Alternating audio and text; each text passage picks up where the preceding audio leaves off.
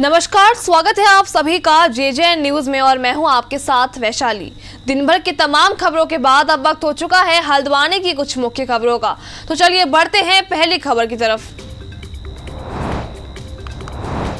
देवों के देव महादेव का प्रिय मास सावन शुरू हो गया है। सावन मास के पहले सोमवार को ज़िले भर के शिव मंदिरों में सुबह से श्रद्धालुओं का तांता लगा रहा। हरिद्वार और गौमुख से गंगाजल लेकर पहुँचे श्रद्धालुओं ने भगवान शिव का अभिषेक किया। साथ ही बेलपत्र और धतूरे से भगवान शिव की पूजा अर्चना की। इस दौरान उन्होंने हर हर महादेव और बोले बम बम बम के जयकारे भी लगाए।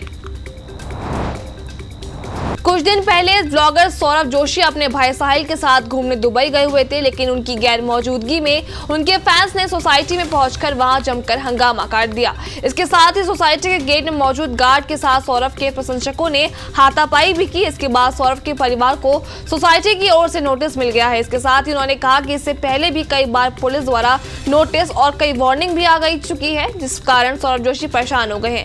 अब वो जल्द ही हल्द्वानी शहर को छोड़कर किसी और शहर में बसने के बारे में सोच रहे हैं।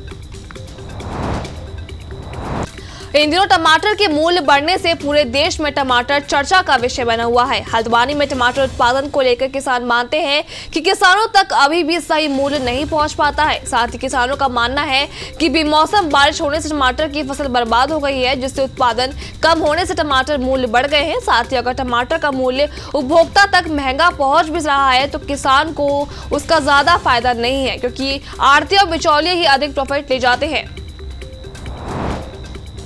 बनबुलपुरा के थाना अध्यक्ष नीरज भाकुनी के नेतृत्व में बनबुलपुरा टीम की ओर से एक अभियुक्त को सार्वजनिक स्थान पर जुआ खेलते हुए गिरफ़्तार किया गया है। आपको बता दें, थाना स्तर पर गठित पुलिस टीम की ओर से बीती 9 जुलाई को मुन्ना सिंह की ओर से, अपने साथी मोहम्मद यासीन की ओर से इंदिरानगर निवासी आरोपी पैंतीस साल के मोहम्मद अजीम उर्फ़ राजा को सट्टे की खाईबाड़ी करते हुए गिरफ़्तार किया। इस दौरान पुलिस को उसके कब्जे से पेन, गत्ता, सट्टा, पर्ची और लगभग तीन हज़ार पचास रुपए की नकदी भी बरामद हुई है।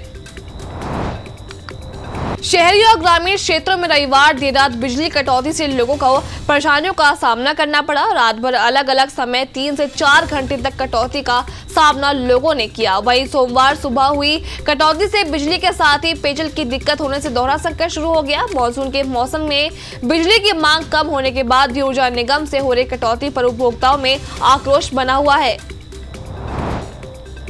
हल्द्वानी की मुख्य खबरों में बस इतना ही। बाकी की तमाम खबरों के लिए आप बने रहिए जे जे न्यूज़ के साथ। धन्यवाद।